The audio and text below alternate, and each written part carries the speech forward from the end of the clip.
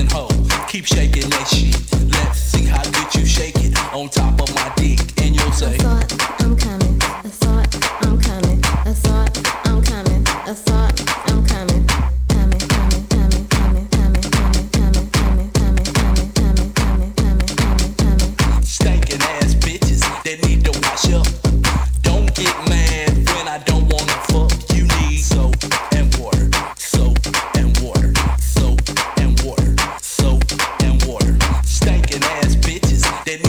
at.